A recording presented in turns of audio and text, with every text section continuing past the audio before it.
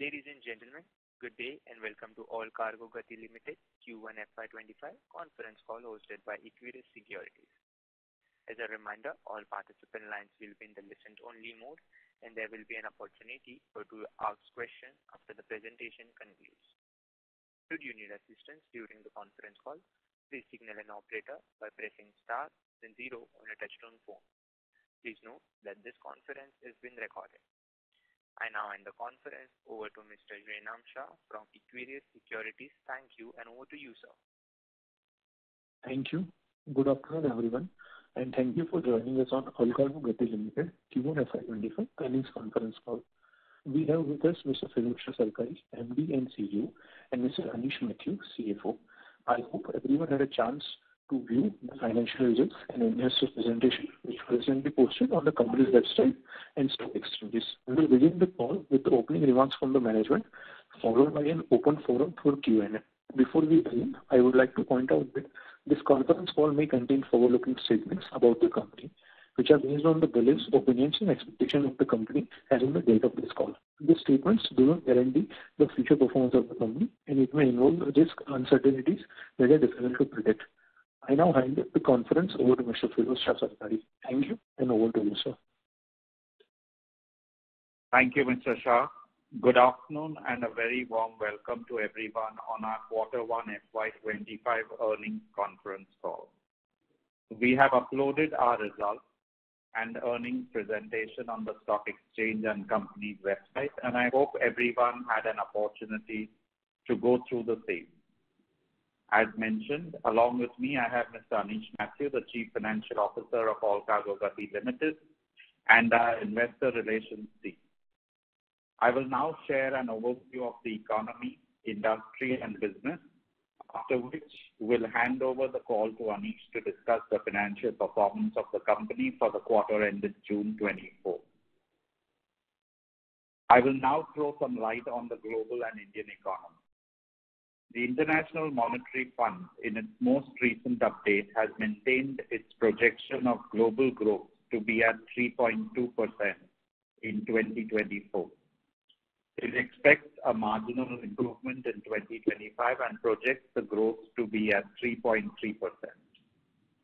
While most risks to the shared outlook are balanced, some short-term risks, like increase in prices of commodity and services due to renewed trade and geopolitical events, still loom large. This has led to a persistent uncertainty around inflation outlook, which in turn has made central banks across major economies to stay more cautious about policy easing. Forecasts for emerging markets have been revised upwards on the back of a rebound in private consumption and increased exports. In order to maintain momentum for global growth, policy easing will have to be managed effectively. Projections for India continue to be buoyant. The IMF has raised its growth forecast for India to 7% for financial year 2025, while for financial year 2026, it remains unchanged at 6.5%. This upward revision in growth forecast is believed to be on the back of improving private consumption, especially in the rural areas. For financial year 23-24, average monthly GST collections stood at rupees 1.68 lakh crores. For the first three months, April, May, and June of the financial year 24-25, the GST collections stood at 2.1, 1.73, and 1.74 lakh crores, respectively. This surge in GST collections reflects a positive economic trend for the country. Coming to the company, I would like to start by introducing the new Deputy Managing Director for Gati Express and Supply Chain Private Limited, Mr. Ketan Kulkarni. He was appointed as the Chief Growth Officer for Allcargo Group earlier this year and now has been elevated. Ketan comes with three decades of experience spanning across multiple sectors. His last stint was with Blue Dart Express, where he spent 17 years leading sustainable and strategic growth initiatives. With the induction of Ketan, we have further augmented our managerial strength. Another aspect that I would like to highlight is our cost optimization initiative. We have reported enhanced profitability at the gross and operating levels through streamlined cost optimization. I will now share some highlights on the growth pillars of the express business. On the technology front, I'm happy to share that we have launched the first module of our new technology. We have named it GATE, Gati Associate Tracking Engine. This monitors the movement of Gati associates, allowing real-time location and route sharing. This gives better visibility, thus enabling better customer service and better operating results. On the infrastructure front, we have successfully implemented phase one of the infrastructure update. And as already mentioned, we will continue with our journey to modernize the same in order to be future-ready. We now have Ahmedabad, Kolkata, and Pune, which we will start from this quarter. We will keep you posted on the development and timeline for each of those. On the sales acceleration, our efforts on sales initiatives have ensured consistent volume growth for the company. We are closely monitoring the customer churn. The sales team is working with data science team to analyze and improve customer connect by regulated connect. On the operations front, I would like to share our key performance indicators for the quarter ended June 2024. Our PIFOT, DIFOT, and delivery efficiency stood at 90.5%, 84.4%, and 90.4% respectively. Other initiatives like timely and direct departures are continuously being monitored while taking corrective measures wherever needed. With this, I would like to hand over the call to Mr. Anish Mathew, our CFO, for financial highlights for quarter one FY 2025. Over to you, Anish. Thank you, Phil. Good afternoon, everyone, and very warm welcome to our Q1 FY 2025 earnings call. I'll take you through the highlights of financial results for the first quarter of financial year 2025. To start with, I'm happy to share that as on 30th June 2024, the company is debt-free with a net cash positive of 196 crores after a successful QIP of rupees 169 crores. I would like to start with the highlights of our express business first. Total tonnage handled for Q1 FY 2025 stood at 300,000 metric tons as compared to 306,000 tons for Q4 FY 2024 and 292,000 tons for Q1 FY 2024. Revenue from express business stood at rupees 358 crores as compared to rupees 355 crores for Q4 FY 2024 and rupees 367 crores for Q1 FY 2024. Corresponding gross margin has improved by 100 basis points and stands at 27% for Q1 FY 2025 as compared to 26% for the quarter ended March 2024. EBITDA for the express business stood at rupees 20 crores in Q1 FY 2025 as against rupees 15 crores in Q4 FY 2024, representing a growth of 33%. Our sustained efforts on cost optimization has translated into this growth in EBITDA. The endeavor is to continue with our efforts going forward as well and look to maximize profitability.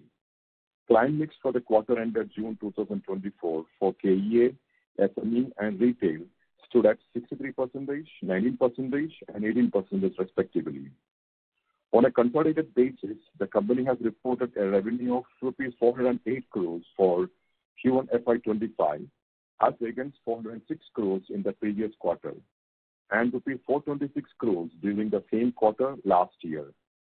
EBITDA margin for Q1 FY 2025 stood at 5% as against 3% during Q4 2024 and 4% in Q1 FY 2024. With this, I would like to open the floor for question and answers. Thank you very much. We will now begin the question and answer session. Anyone who wishes to ask a question may press star and one on the touchtone telephone. If you wish to remove yourself from the question queue, you may press star and two. Participants are requested to use handsets while asking a question. Ladies and gentlemen, we will wait for a moment while the question queue assembles.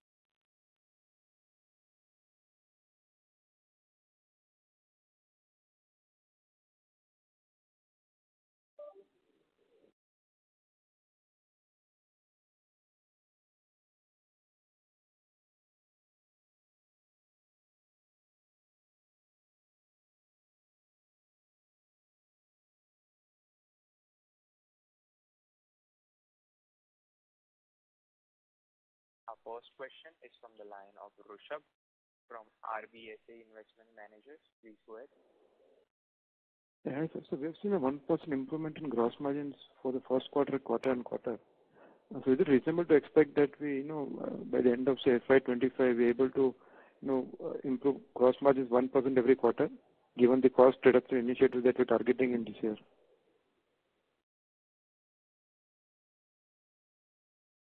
So as I said in my last uh, quarter also, uh, we have clearly identified that the gross margin expansion will happen mainly through cost reduction.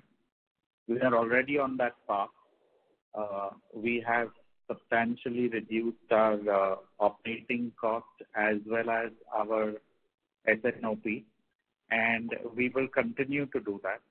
We are also looking at Uh, changing the mix of our large customers to our SME and retail. Uh, we have managed to make a change, and we'll further make a change. And the combination of these will definitely get us the expansion quarter by quarter on our gross margin. What is the aspirational customer mix between key accounts and MSME retail, say, two years down the line? So our first benchmark is to bring 60/40, and then the aspirational is 55/45. What's the traction now currently, the post the strategy change that we did in January after hiring Mr. Uday Sharma? Uh, what is it, if you could share some broader strategy in terms of adding new franchisees or associates, how is the traction there, and what is the payback period for the new franchises that we are adding?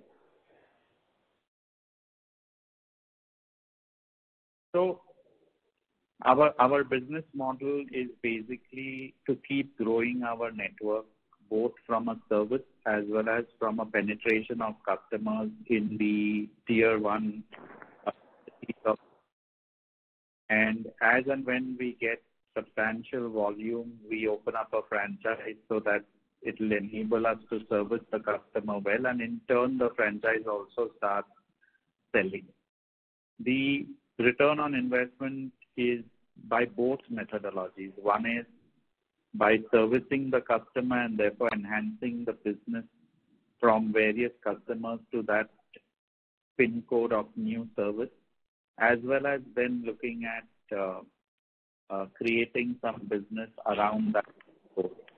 It differs from pin code to pin code. There is no one uh, real return on investment, but the fact that we open up a franchisee means that we have substantial volume that can get delivered there. We have been uh, hovering around the 300, uh, you know, like, uh, the 3 lakh metric tons in the volume range. So, for FY 2025, is it reasonable to expect that we grow at least 12%-13% volumes in this year and the year after that as well? No. So we have put out that in this year, we would be looking at anywhere around 15% growth. We have now set our uh, uh, sales as well as operations, and therefore, uh, with season coming up this quarter, we are looking at ramping up the growth. And then for the next couple of quarters, it should be plus of 15%, 16%. Next couple of years, you mean, or quarters? Years. Okay. Sir, we had uh, earlier had a target of, you know, uh, revenue of 3,000 crores by FY 2026 with 10%-12% margin. So where does it stand today?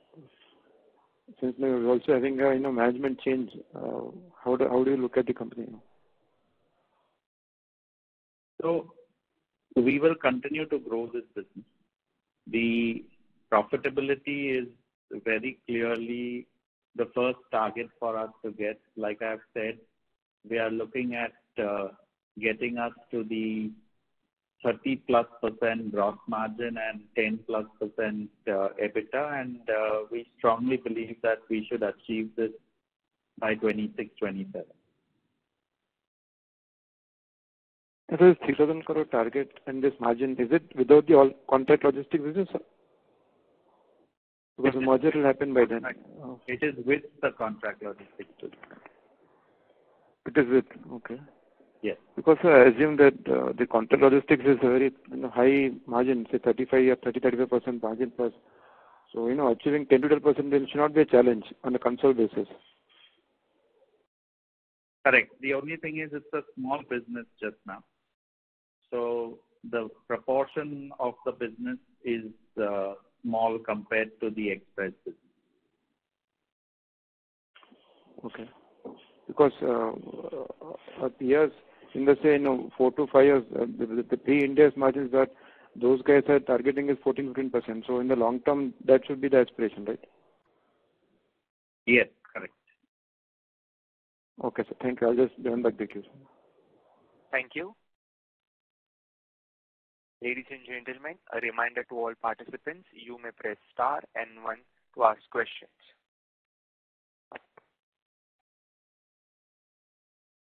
Our next question is from the line of Jainam Shah from Equirus Securities. Please go ahead. Yeah. Hi, sir. Thank you for the opportunity. My question relates to the corporate restructuring part first. So, How we are going uh, ahead with that particular plan? By when it is expected to have the uh, uh, another entity like Allcargo Logistics and Allcargo ECU Limited? Is this on time by December this year?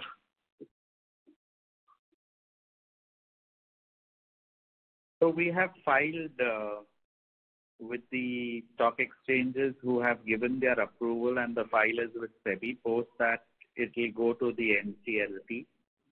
We believe that uh, latest by first quarter of next year we should get the merger done. Okay, sir. Okay, got it. And sir, on the uh, operational uh, part, uh, you have said that there has been an expansion in the gross margin this particular quarter. However, how is the overall industry volume going on? Are we seeing any slowdown in the overall industry volume, or is this just this quarter impact because of election? And if we see from next two to three years perspective, how our express business is expected to pan out as compared to the overall market growth? I think if I were to answer your second question first, express logistics has a very, very large role to play once manufacturing comes into the country in a big way. Uh, a lot of the uh, uh, manufacturers who want to make it large would want inventories on wheel for their finished products and not really store them for a long period of time. So from that perspective, we believe that express logistics is gonna play a very important role, and therefore the growth of express logistics should be, as manufacturing happens, uh, should be exponentially large in this country. Coming to the first quarter, yes, there were a couple of things. One is, of course, the election. Second is we did have some natural uh, calamities in certain parts of the uh, country, and therefore volumes were subdued. But um, this quarter, July, August, September, as you know, is supposed to be the one of the largest quarters for the pre-festivities uh, inventory, and therefore we should see a very good second quarter. Got it, Got it, sir. Uh, if I have anything, I will join back the queue. Thank you.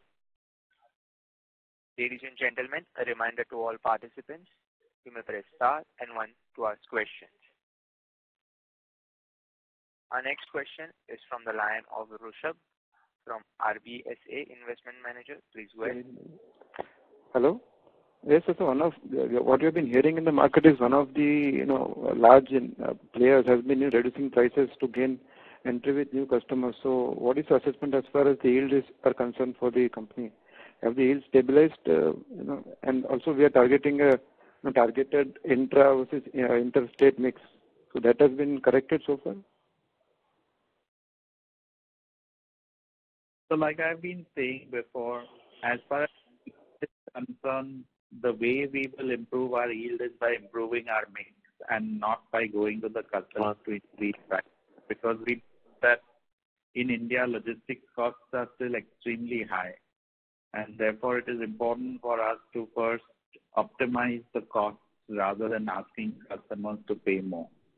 We believe that the mix between zonal and uh, uh, the national play is continuously improving, and that will not affect really the yield, but the gross margin should uh, get better because the cost, direct costs are far lower in the case of uh, zonal play rather than national play.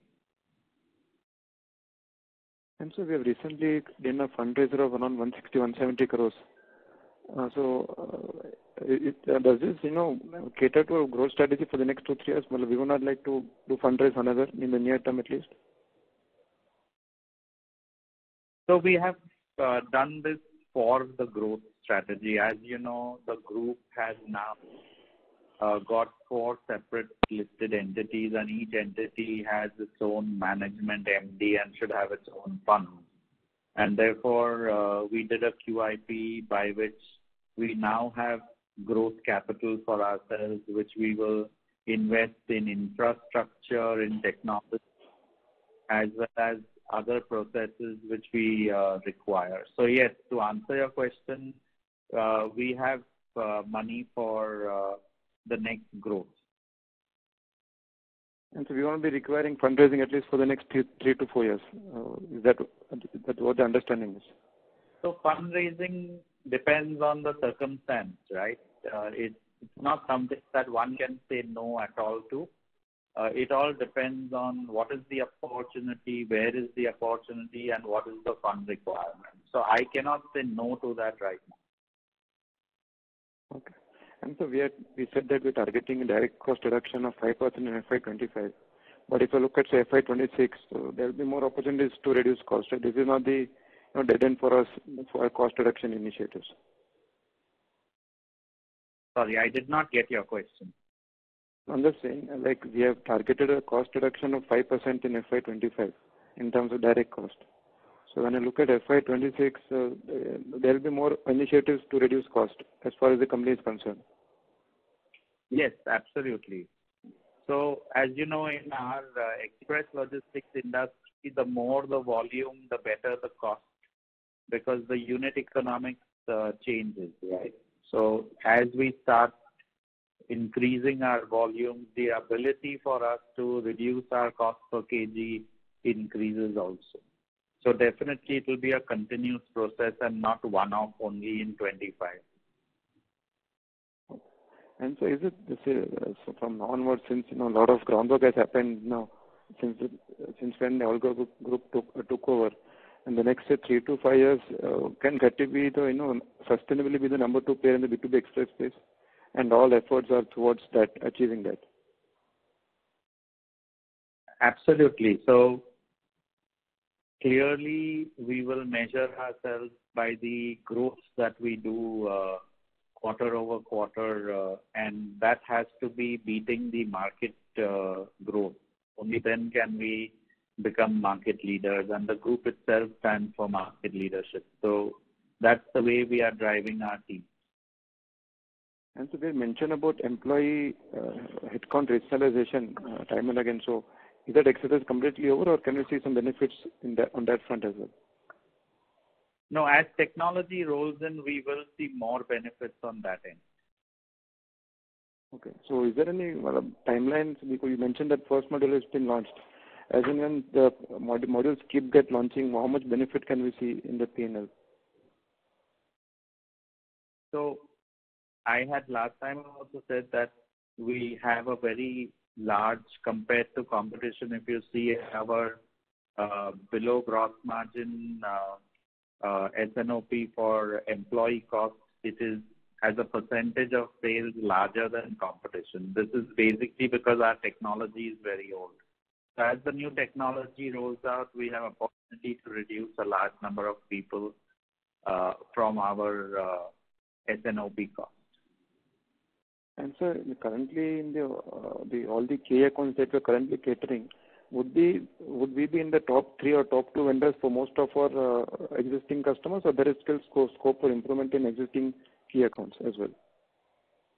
There is tremendous scope Uh, for improving our wallet share with the customer. Uh, today, on an average, our wallet share is about 30% with the large customers. So we still have a good opportunity to increase our wallet share. And sir, just to understand, uh, what would be the minimum and maximum revenue of our key account customers? Just to understanding the you know, understanding understand the customer, what classification comes in the key accounts. Is there any metric that you can share?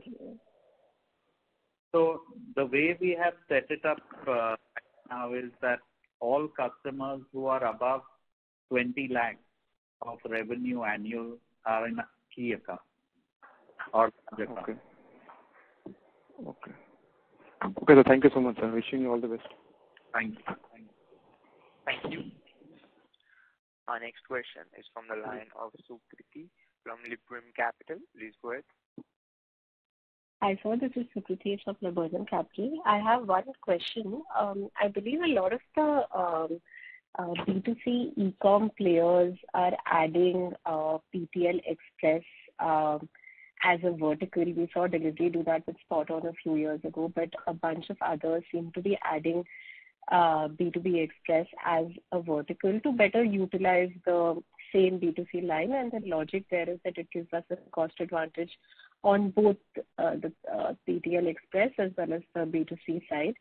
Are you seeing um, this space, at least the organized space, becoming a lot more competitive, uh, given that there are a number of new players in B2B Express from the B2C side versus, let's say, four, five years ago? Thank you for asking this question. Uh, you know, the number of players that you're talking about, according to me, is just two, first of all. I don't know more than two players. Uh, having said that, B2B networks are very different from B2C uh, networks, and it becomes extremely difficult if somebody has to start a B2B network today and make it a pan-India play. While people have definitely realized that B2B is a more profitable uh, business than B2C, and therefore want to include B2B in their uh, uh, network, I think there is a huge barrier to entry for those who do not have an existing network.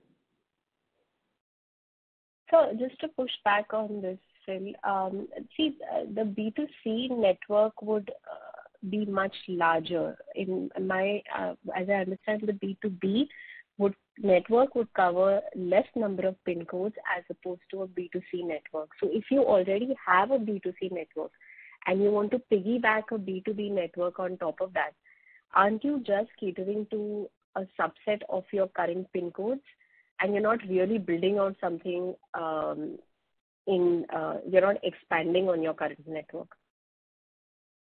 So if you look at the loads that move in a B2C network, to cater to those loads, the kind of network that you build out and the last mile that you build out is very different than the network that you build out for B2B.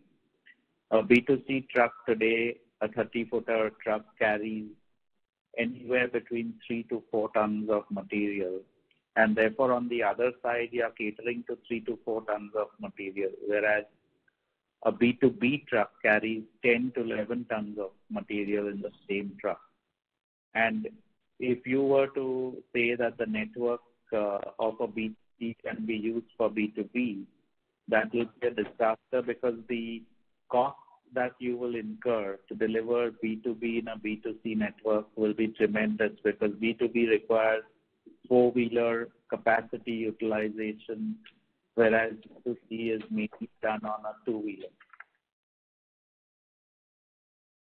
Got it. Got it. So there are no synergies, um, as per what you're saying. This is a little different from what you would typically hear in a Delhivery call, though. It is very different. Got it. Got it. Thanks a lot. Thanks a lot. Thank you. A reminder to all participants, you may press star and one to ask questions. Our next question is from the line of Jaimin Shah. Please go ahead, sir. Yeah. Hi, sir. Thanks for the opportunity again. This question relates to the acquisition by the Allcargo. So basically, if we see, uh, 4-5 years back, has acquired the Gati, and there has been a clear path how to uh, make it profitable going forward. As we are in between of that particular path, how we are seeing next three to five years uh, turning out to be the Gati? And other question will be on the contract logistics business. As once a uh, small portion of the GEHCPL of contract logistics and also for the uh, Allcargo supply chain comes together, how we are working on that particular business growth?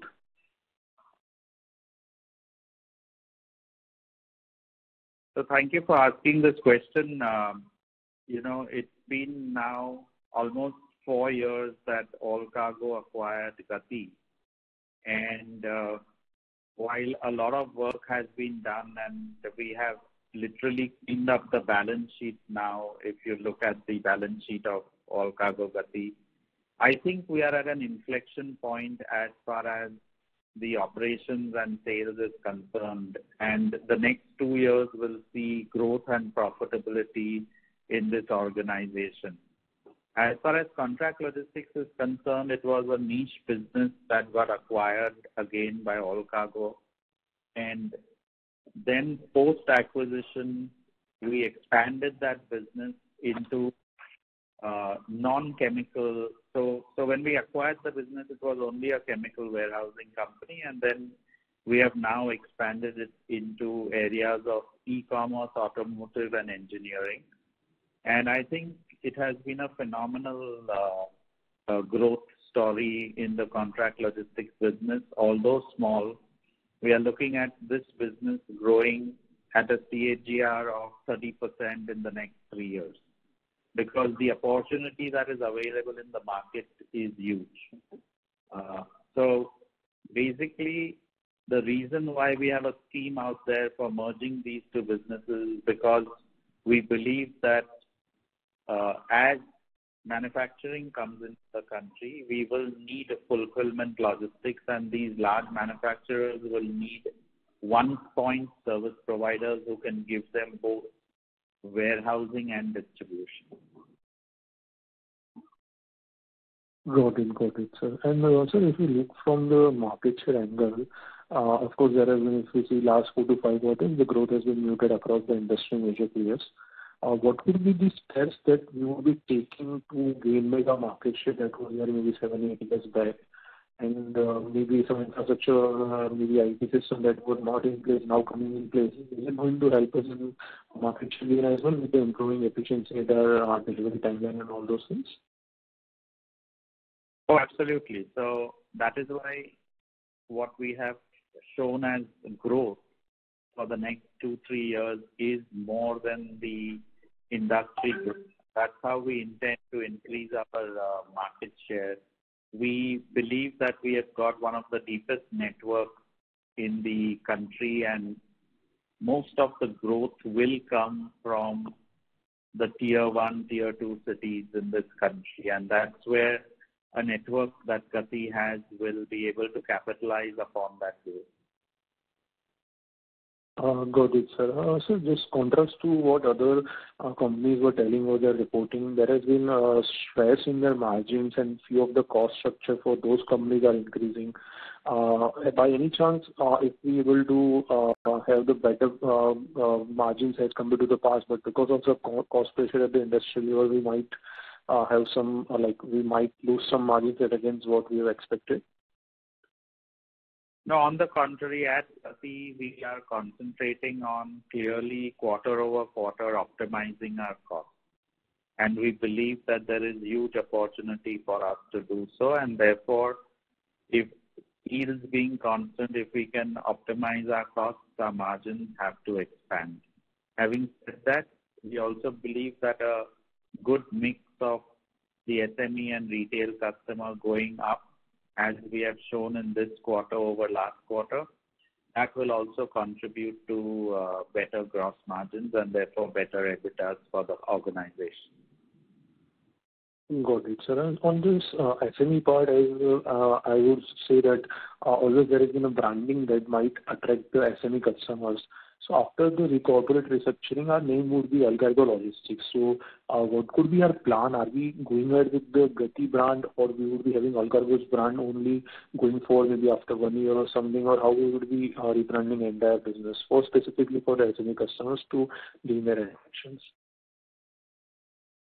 Our brand already is now Allcargo Gati. It is neither only Allcargo nor Gati. It is Allcargo Gati. So we have the benefits of both uh, one of the industry leaders at one time, Gati, and the current industry leader, Allcargo, putting together the brand is Allcargo Gati. And I think with the induction of Ketan, who has been spearheading marketing for Blue Dart for the last more than a decade, we will see a lot more marketing happening out of the Allcargo Gati arena. Got it, sir. That's it from my side. Thank you. Thank you so much, sir. Thank you. Ladies and gentlemen, a reminder to all participants, you may press star and one to ask questions. Our next question is from the line of Gautam from Mayuran Capital. Please go ahead. Hi. Uh, thanks for taking my question. Just a small clarification on what you mentioned earlier on the EBITDA margin. Um, you said uh, the EBITDA margin guidance um, includes the contract logistics, and uh, that would still make it 10%. Now, I assume you are talking about 10% pre-Ind AS, right? Because at the moment, on my numbers, at least from what I was seeing, in FY 2024, pro forma for your uh, merger with contract logistics, you are already at 10% pre-Ind AS EBITDA margin. So what you're saying is 10 and 10% um, pre-Ind AS, not post-Ind AS. I'm saying pre-Ind AS. Okay. Okay. So so that means a substantial margin improvement from today's levels. Yes. Something like 5%-6%. Like I said, we have a contract logistics business which is still substantially smaller than our express logistics business. So as we grow that, and we are very positive about that business growth, uh, doing a CAGR of 30% over the next two, three years, uh, that should give us a good margin for our businesses put together. And of course, we keep improving our uh, express margins also. No, uh, this is an important point uh, because contract logistics being a 40% EBITDA margin business um, post-Ind AS, but pre-Ind AS, it's only about uh, 12%. So on a combined basis, you're talking about a pre-Ind AS number. Yes. Perfect. Thank you, sir. Thank you. Thank you. Our next question is from the line of Ronald from Sharekhan Limited. Please go ahead. Yeah. Uh, good afternoon, sir, and thank you for giving me the opportunity. Uh, uh, the first question is, you know, are we done with the you know, old legacy issues with respect to key accounts? Because as going ahead also, you will be rationalizing few accounts to improve the mix. So should there be a stability or can there be you know, one or two quarters where you know, these uh, issues, old legacy issues can come from? So I can only say that 99% is over. I cannot say 100%. But yes, uh, old legacies are over. You've seen the uh, ECLM provisions reduced in the last four quarters from what it was four quarters back. That in itself gives the confidence that most of the old legacy issues are now over. Great, sir. And secondly, if you can um, tell us uh, what about the CapEx numbers? You know, what you are expected to do over the next two to three years in terms of CapEx and the funds which would be utilized, you know, the uh, uh, funds, how they would be utilized going ahead. So we have set aside very clearly when I did when we did our QIP also 30 crores for technology and uh, another 40 crores for uh, infrastructure, which means the size of the new hubs that we lease out uh, as we move forward. And that basically is the CapEx investment that we would look at on the Allcargo Gati side of the business. Okay. This would be over the next two years, right? Two years, yes. Okay. Thank you very much. Best of luck. Thank you. A reminder to all participants, please press star and one to ask question. Our next question is from the line of Jainam Shah. Please go ahead, sir. Yeah, thank you for the opportunity again. Uh, this question relates to uh, the amalgamation that we will be having with contract logistics and our B2B express business. So if you see your competitors as well, that there will be an added advantage to have a transportation as well as warehousing business under one umbrella. So, uh, how we are building on to the additional revenue we might get with these two businesses coming together? Mm-hmm. First of all, even today, as you know, the number of customers in express logistics is far, far more than the number of customers in contract logistics. So One is cross-sales, which is basically taking the contract logistics customers to the express customers who have the need for contract logistics. Uh, number two is applying for the RFQs for both warehousing and distribution together and giving a single unit price to the customer so that the customer clearly understands that there is a price per order for them rather than a separate price for warehousing and a separate price for distribution. And I think that is what the customer would be looking forward to so that they know exactly the cost of uh, fulfilling an order from their side. Uh, So we believe that it will also make our express business more sticky than what it is today, because contract logistics generally gives you a longer Got it, sir. Uh, Sorry? Yeah, please go ahead.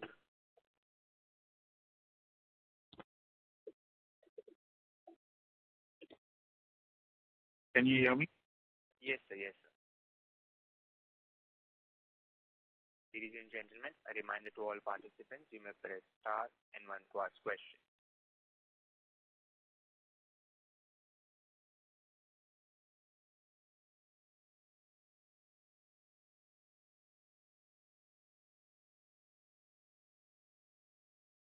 Our next question is from the line of Madhur Rathi from Counter Cyclical Investments. Please go ahead. Uh, Sir, thank you for the opportunity. Sir, I wanted to understand, I'm a little bit new to the company. Sir, why has our revenue been stagnant for the past five to six quarters? And similarly, our volume. So you have guided that a 15% volume growth we can expect for this year. But why were they uh, flat for the next uh, previous five to six quarters? If you look at our volume, we have grown the last year by 9% in our volume. It's not been flat. Basically, there is a volume growth, and we'll continue to grow our uh, volume as our infrastructure and our uh, service improve. So that's one data point that I'd like to uh, register. The other is, of course, now with the new focused sales team under the uh, Chief Commercial Officer, Uday Sharma, who has joined the last three, four months from uh, Spot On Delhivery. We believe that we'll get a impetus to the growth that we already had in the last one year. Okay. Sir, what kind of uh, realization or the yield increase can we see from the shift from the larger clients to SME and retail?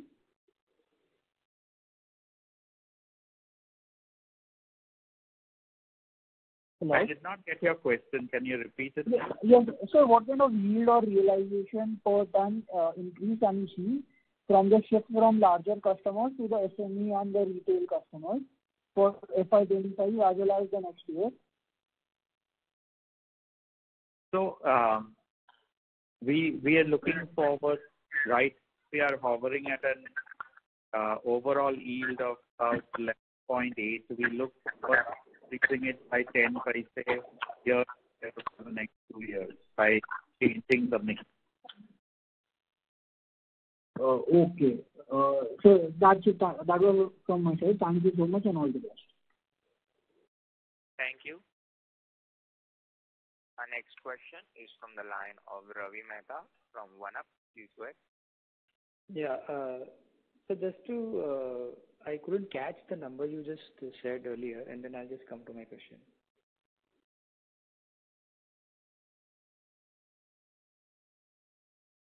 I was I was saying that we are looking at increasing our yield by 10 year-on-year by changing the mix of large customer to small and uh, retail customers.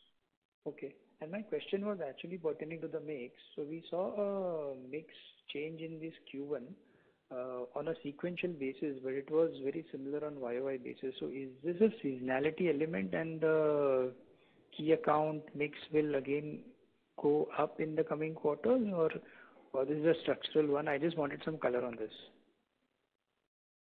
So like I had said in my last quarter, uh, post the induction of uh, our Chief Commercial Officer, uh, we have been concentrating on an inside sales for the small MSME customers.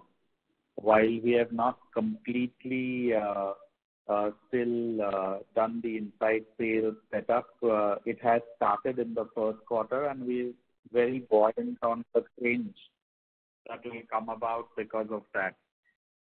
We'll continue to focus on inside sales to attract the smaller customers for us. Okay. Okay. So broadly, the mix you think would be similar to Q1 or maybe a little bit uh, may still skew towards key accounts in this year? So we would be looking at uh, ending the year with a mix of about 60/40. Okay. Okay. Thank you. Thank you.